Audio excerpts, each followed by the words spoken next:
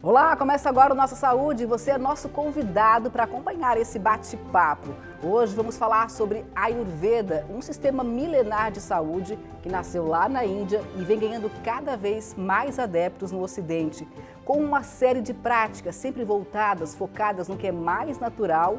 O Ayurveda é uma alternativa para uma vida mais saudável, com bem-estar físico e mental. Vamos então conhecer essa ciência da vida que tem ajudado muita gente a tratar, mas principalmente a prevenir doenças.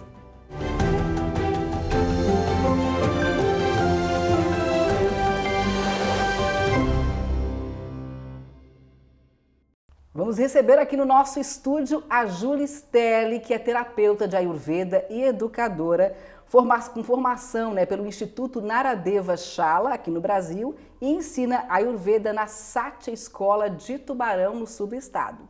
Júlia, seja muito bem-vinda aqui ao nosso programa. Prazer te receber. Prazer é todo meu, Rafa. Estou muito feliz de estar aqui e é uma honra também poder compartilhar esse conhecimento que é tão precioso e ao mesmo tempo tão eficiente né, para o cuidado, para a prevenção de desequilíbrios e também para promover longevidade e vitalidade nesse nosso tempo tão urgente. Tão maluco né? de tanta correria, tão né, maluco, Julie? exatamente.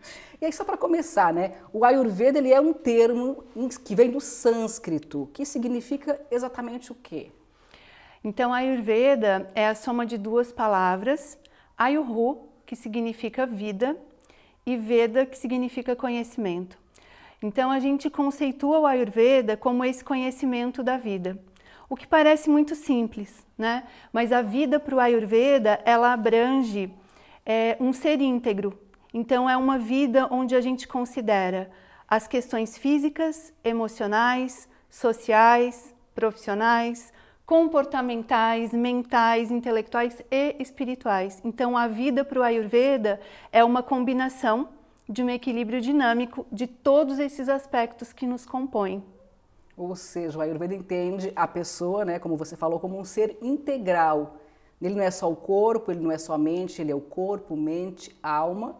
E a partir daí, né, tudo que ele traz de, de técnicas e práticas para o bem-estar, para a saúde, é sempre voltado para o equilíbrio desses, dessas, desses corpos, seria isso? Exato. O Ayurveda, ele privilegia os cuidados com o corpo físico. Então, a prioridade é esse corpo que tem prazo de validade, que padece, né? Mas ele considera que, através desse corpo, nós temos questões muito amplas, que são essas emocionais, intelectuais, espirituais. Então, através do corpo, a gente pode também expressar toda essa nossa natureza íntegra. Exatamente. Você faz referências ao Ayurveda, né? É, como um, saberes milenares para um viver contemporâneo. Explica um pouquinho melhor isso. Então, há alguns registros do Ayurveda e ele é baseado em três grandes textos, que tem aí uma definição de 7 mil anos, 4 mil anos, 5 mil anos, 2 mil anos.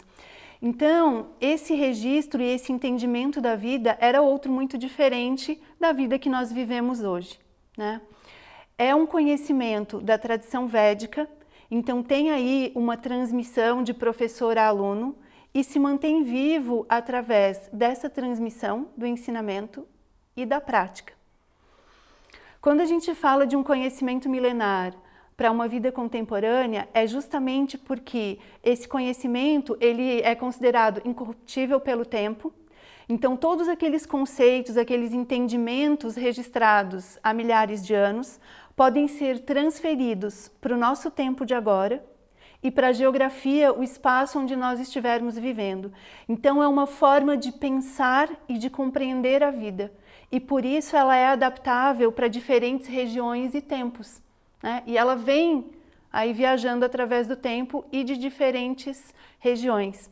Se nós pensarmos no Ayurveda, que é esse conhecimento milenar, que tem como berço a Índia, a gente pode considerar outros conhecimentos milenares e ancestrais. Então, no Brasil, nós temos os conhecimentos indígenas, que também têm muita similaridade. Eu tive a felicidade de conhecer com mais profundidade alguns desses conhecimentos indígenas e quando a gente pensa não só nos indígenas, mas nos africanos, nos celtas, nos mexicanos, nos andinos, a base do conhecimento é a observação e o entendimento da natureza, que nos inclui. Por isso, tantas similaridades, porque a referência é essa natureza. Então, a natureza permanece, mesmo com as transformações, principalmente feita, feitas por nós humanos, né? mas ainda assim a gente pode usar essa referência para nos cuidar até hoje. Né? Então, quando a gente pensa no milenar e no atual, tem alguns parâmetros que a gente pode considerar. Para o Ayurveda, tudo na natureza, incluindo nós, humanos, somos uma combinação das qualidades de cinco elementos: espaço, ar, fogo, água e terra, que eles permanecem até hoje. Se nós pensarmos no corpo humano, ele tem uma variação de quando foi feito o registro desse conhecimento, mas é muito pequena. Então a gente também considera que esse corpo ele mudou muito menos do que tudo que mudou ao redor. Né? Então esse é, é, esse é o primeiro parâmetro, a primeira consideração que a gente faz. E a ela a gente inclui outras. Né? Então as fases da vida, que para o Ayurveda são três, então, tem uma primeira fase de vida até nos tornarmos autônomos, quando a gente é capaz de sustentar a própria vida, a fase adulta e depois a fase de envelhecimento com mais intensidade. Né? Que outros parâmetros não mudaram? Os ciclos da natureza, então as estações do ano, né? elas também sofreram com a ação do homem, principalmente, né? da exploração da natureza, e os horários do dia e da noite. Então, só aí a gente já tem algumas referências que permanecem, com pequenas oscilações. Por isso, a gente pode transferir aquele conhecimento que é milenar, que foi registrado há tanto tempo, a partir da observação e do entendimento da natureza, para o nosso tempo de agora, considerando todas as questões contemporâneas e urbanas que a gente tem. E Julia, aí o Ayurveda ele leva em consideração vários recursos né, do nosso dia a dia para prevenir doenças.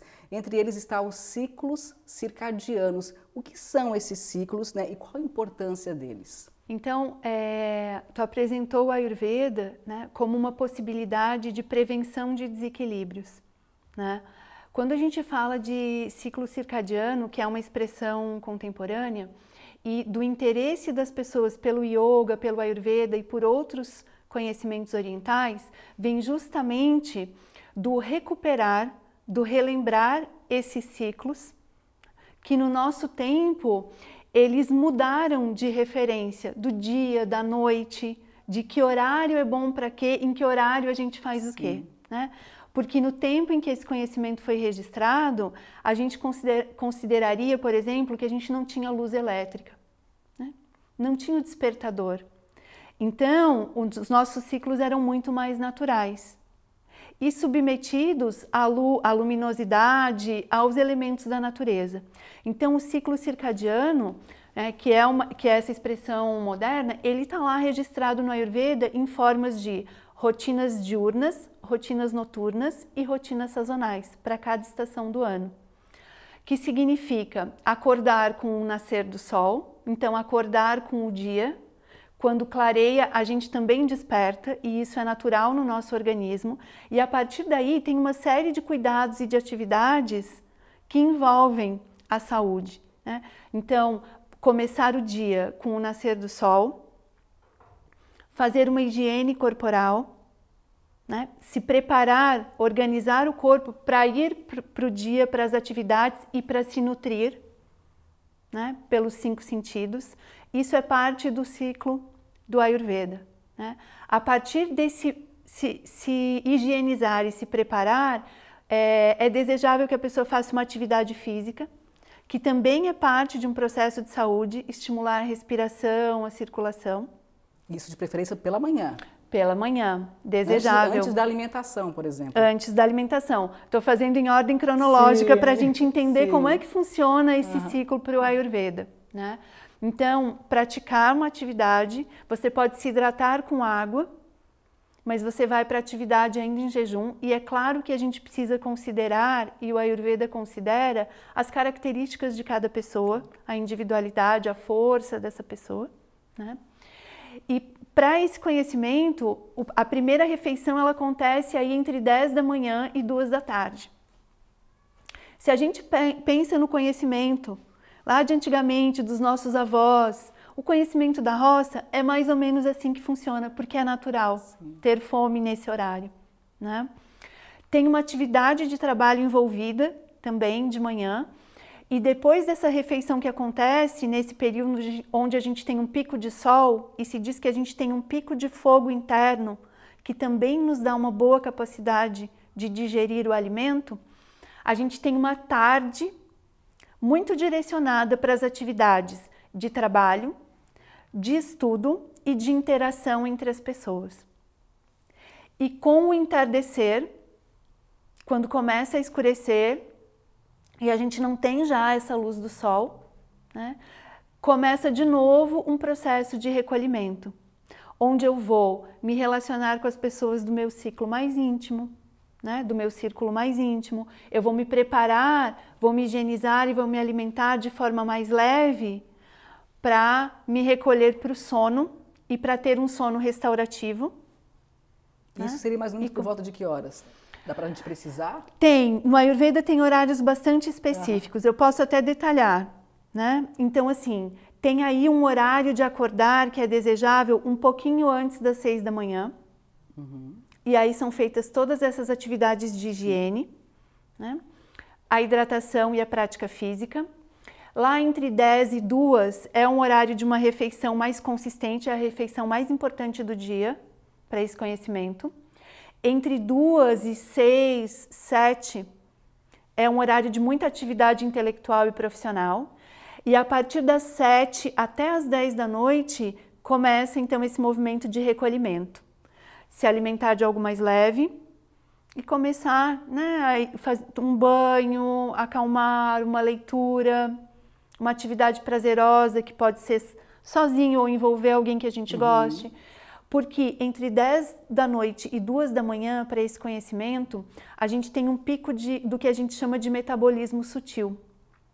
É quando o nosso organismo já deveria estar em repouso, sem se alimentar do que a gente ouve, do que a gente vê, de todos esses estímulos, para que nesse repouso ele possa fazer uma atividade de renovação do organismo, fortalecimento de gestão mental, de gestão emocional das experiências do dia e uma produção mais intensa de hormônios, de enzimas. Né? E a partir das duas da manhã até às seis, de novo, o organismo começa a acordar. Né? Então, tem todo um entendimento muito complexo se a gente pensar para aquela época e que tem muita relação com a ciência moderna. Né? E o fato de a gente não respeitar esses ciclos também é, traz para a gente, para o nosso tempo, é, um entendimento de quantos desequilíbrios metabólicos estão aí, bastante presentes né, no, no nosso cotidiano. Então, quando nós pensamos nas questões muito presentes de diabetes, colesterol, tireoide, menopausa precoce, os distúrbios metabólicos mesmo, né? de aumento de peso, de muita redução de peso, e mesmo as doenças psicofísicas, né? ansiedade, pânico e depressão, para o Ayurveda tem relação com esses ciclos, com o fato de nós desrespeitarmos, porque a gente às vezes estende o horário de luminosidade, porque a gente tem a luz Sim. elétrica que não existia, uhum. E aí a gente fica acordado até bastante tarde numa atividade muito intensa, sem se restaurar, se desgastando. E dia após dia o somatório é esse, são doenças. É Exato. É então quer dizer que o, as doenças vêm do desequilíbrio da nossa natureza, é isso? De partes da nossa natureza. Sim, é, também. E a gente considera outros elementos, né?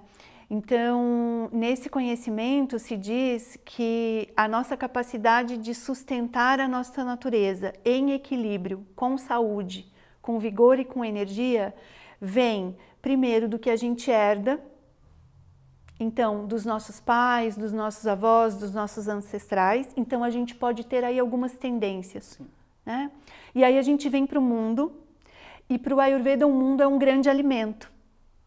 Então, no encontro da nossa capacidade de digerir esse mundo né, e dos elementos que nos são dados, tem esse encontro. E é disso que se vai fazer a sustentação de saúde ou o processo de desequilíbrio. Né? Porque é, se a gente considerar que a gente nasce lá perfeito na nossa natureza, saudável, e aí a gente é colocado em contato com uma família, uma cultura, conhecimentos, experiências, pessoas, alimentos. Né? Se todos nós funcionássemos da mesma forma, num mesmo ambiente ou numa mesma família, todos nós teríamos a mesma saúde. Então a gente também considera a individualidade dessa pessoa, né? E a capacidade dela de perceber o mundo e fazer boas escolhas para sustentar essa saúde.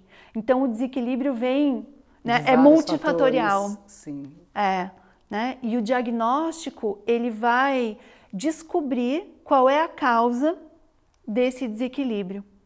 Porque quando a pessoa é, se dá conta do processo de desequilíbrio, ela percebe os sintomas.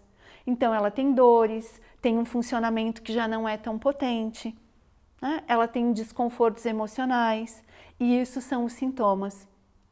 O Ayurveda cuida desses sintomas para eliminar o sofrimento dessa pessoa que está em desequilíbrio e ele vai também investigar a causa, porque paralelamente a gente cuida do que causou para que se restaure e a pessoa elimine esses sintomas.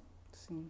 E também trata os sintomas para que essa pessoa tenha um relaxamento para poder seguir os cuidados que vão ser propostos para ela. Muito bem. Juliana, deixa eu fazer uma pausa agora. Nós vamos para o intervalo e na sequência a gente volta então com muito mais informações para você. Não saia daí.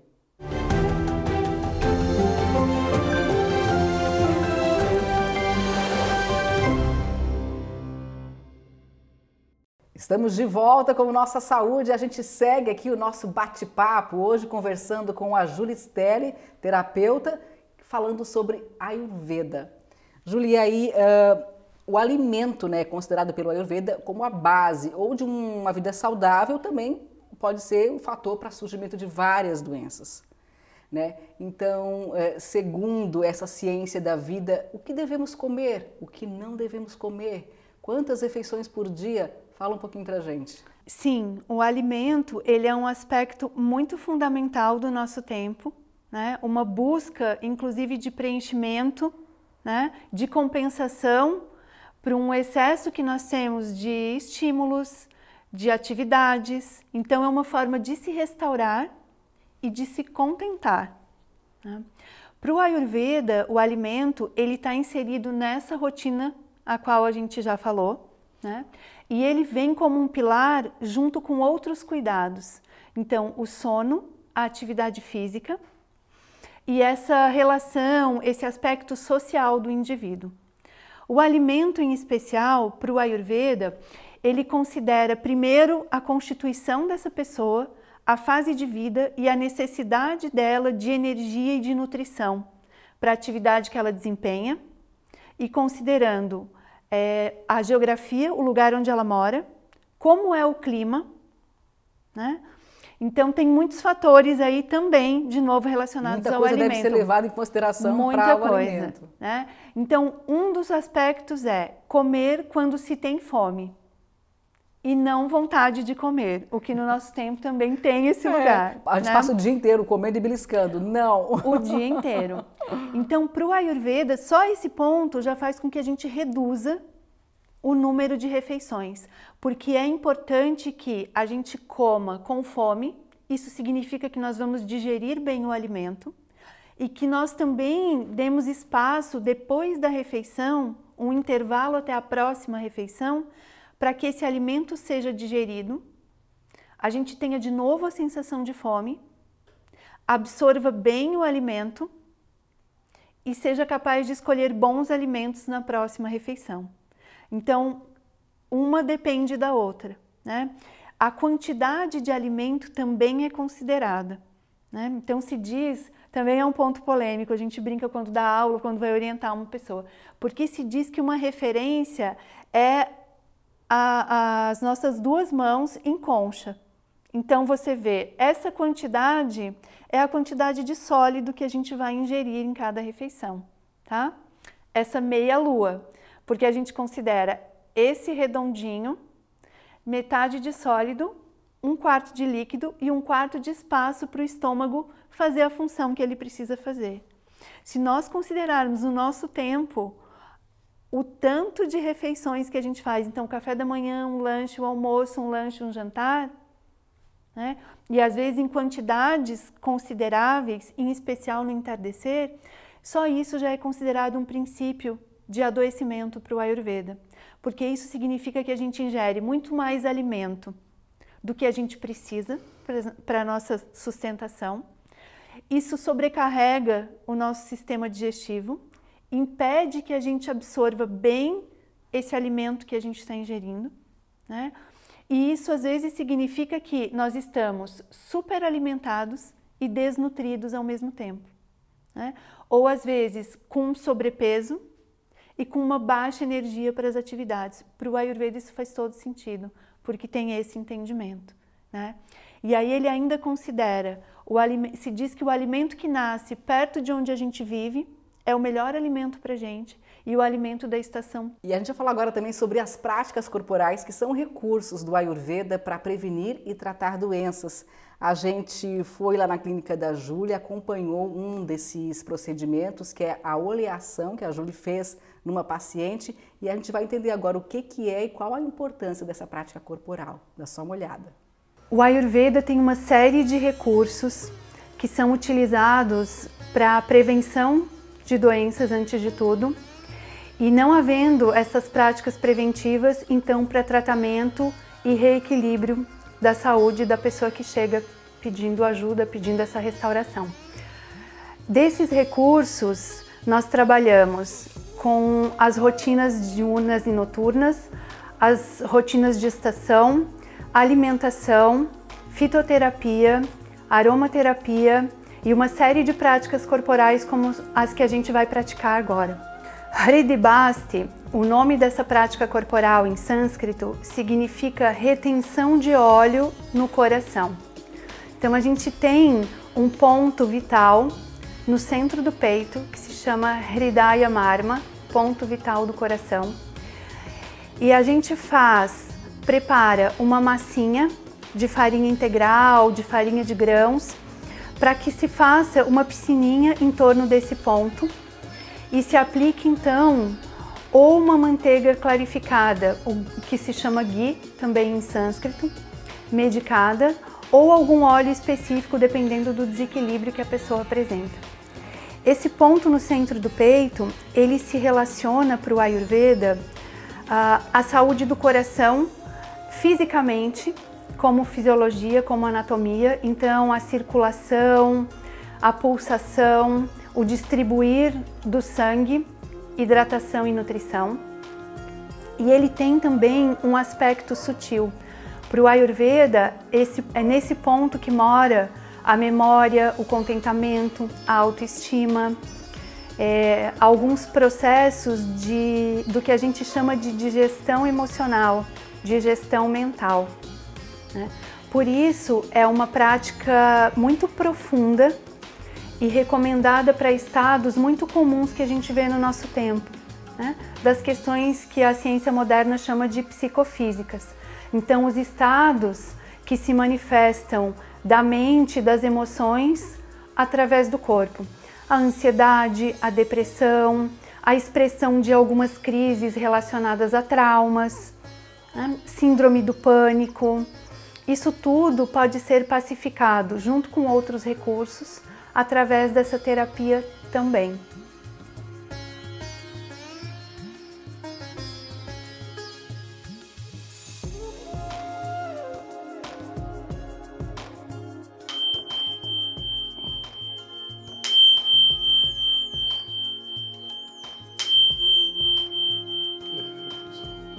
Toda essa movimentação que eu busco para ficar melhor, né? traz uma paz interior muito grande, assim, é tudo muito sublime, digamos assim. É um pouco romantizado, mas não vejo uma outra forma de, de poder explicar. Esse autocuidado, ele, ele é constante, né? Então, através de uma dieta, através de autooliação, através da aromaterapia. Então, tudo isso junto faz com que essa, essa paz ela venha, né? Para mim, felicidade ela é sinônimo de paz interior, né? E essa prática da Júlia, acho que ela busca justamente isso, assim, essa, essa paz interior. Então, é um, é um ponto de equilíbrio do corpo, né? E ele fica protegido, cuidado e eu saio daqui assim com essa com esse impulso de me cuidar e cuidar de quem está próximo a mim. Julia, a gente viu aí a reportagem, então que bacana, né, essa técnica corporal, a oleação, entre tantas outras. E outros recursos que o Ayurveda utiliza são fitoterápicos, é, utiliza também yoga, enfim, vocês não recomendam a utilização de remédios, é isso? O Ayurveda tem preparações de medicações todas baseadas em elementos naturais. Então, na herbologia, na fitoterapia, combinação de óleos, especiarias. E ele é também integrativo.